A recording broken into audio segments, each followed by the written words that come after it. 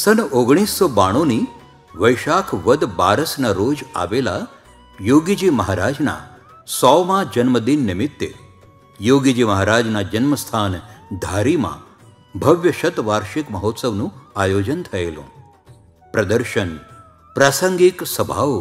મહાયાગ નગરયાત્રા વગેરે દ્વારા યોગીજી મહારાજના કલ્યાણકારી જીવનની ઝાંખી કરાવતા આ ઉત્સવના દર્શન કરી આવો कृतार्थता अनुभवी